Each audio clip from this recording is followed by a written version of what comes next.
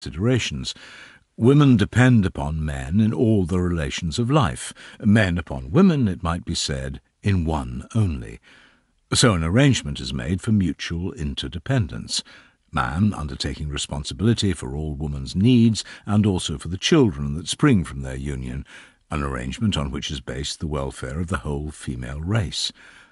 To carry out this plan, women have to band together with a show of esprit de corps and present one undivided front to their common enemy, man, who possesses all the good things of the earth in virtue of his superior physical and intellectual power, in order to lay siege to and conquer him, and so get possession of him and a share of those good things.